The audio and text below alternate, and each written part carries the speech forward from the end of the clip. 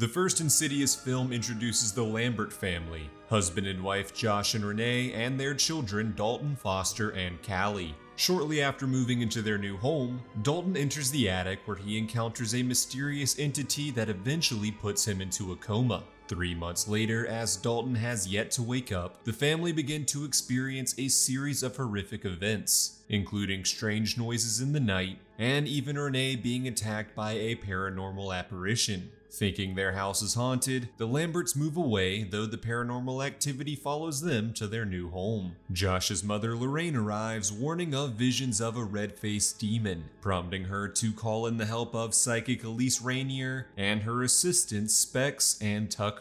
Elise explains that while he thought he was dreaming, Dalton had actually gained the ability to astral project his consciousness into a purgatory dimension known as the Further. Dalton's mind has been captured by evil spirits in the Further who are seeking a way to use his body and re enter the physical world. While Josh first dismisses these claims, he eventually discovers that he possessed the same abilities as Dalton and had repressed memories of Elise helping him similarly escape the Further as a child. The group quickly determined that the only way to save Dalton is for Josh to astral project into the Further to rescue him. Inside the Further, Josh fights his way through various spirits, including the red-faced demon and the spirit of an old woman who had tried to possess him as a child eventually rescuing Dalton and returning to the physical world. As the family celebrate Dalton's rescue, Elise senses something amiss and discovers that the spirit of the old woman has possessed Josh's body. Upon being caught, Josh murders Elise before returning to his family.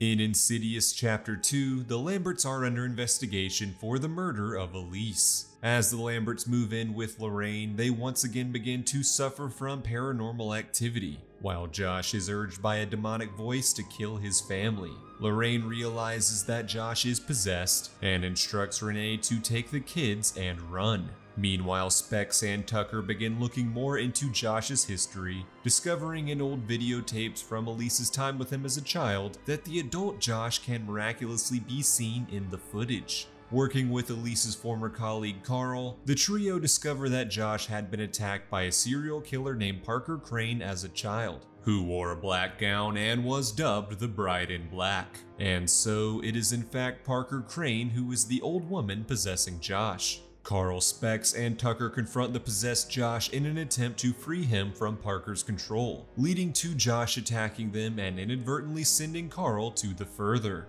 There, Carl reunites with Elise and the real Josh. In the real world, the possessed Josh begins attacking his family, prompting Dalton to enter the Further to help his father take back control of his body. Inside the Further, the group becomes unstuck in time, eventually discovering that Parker Crane was viciously abused by his mother Michelle, who forced him to act like a girl and led him toward his violent tendencies. During a final confrontation with Michelle, Elise kills the spirit, putting the bride in black spirit to rest. With the spirit defeated, Dalton is able to lead his father out of the further and fully reclaim his body. Carl uses his abilities to help the Lamberts once again suppress their horrific memories and happily move on with their lives. Insidious Chapter 3 is set three years before Dalton's possession and focuses on Elise's return to the profession of demonology. Grieving the death of her husband and traumatized by her years of experiences with spirits and the further, Elise has given up on her profession.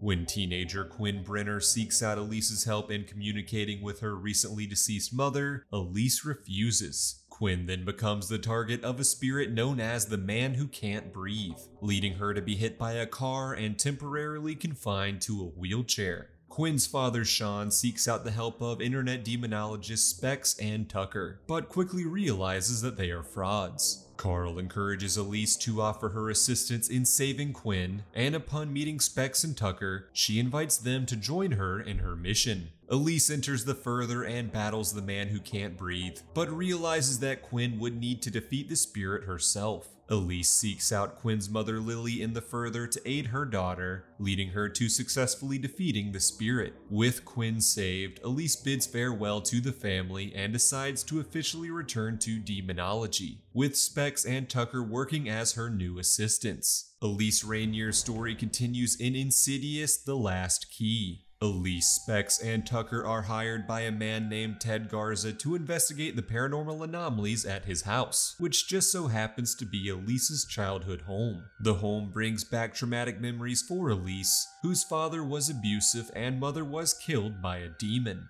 Elise had fled the house as a child to escape her father's beatings, abandoning her brother Christian. Elise, Specs, and Tucker eventually discover that Ted is actually holding a young woman prisoner inside his home, and Specs is forced to kill him in self-defense. Christian then returns to his childhood home with his daughters Melissa and Imogen, though he remains bitter at Elise for abandoning him decades prior. Melissa is attacked by the demon from Elise's childhood home known as Keyface, which traps her in the further. As Elise searches for a way to save Melissa, she discovers that her father Gerald had also kidnapped and locked up young women inside their home. Elise is then attacked by Keyface, pulling her into the further. Fortunately, Imogen possesses the ability to astral project and enters the further to save Elise and Melissa. The women discover that Keyface had been possessing Gerald and Ted, forcing them to commit their heinous acts against women, feeding on the women's fear and hatred for their abusers. As Keyface tries to goad Elise into enacting revenge against her father in the further, Imogen encourages her to not let Keyface feed on her hatred. As Keyface attacks Elise, Gerald's spirit sacrifices itself to save her. As Keyface continues to attack the Rainier family, the spirit of Elise's mother Audrey arrives to help defeat the demon. While attempting to escape the further, the women accidentally open a wrong door, leading to the young Dalton Lambert.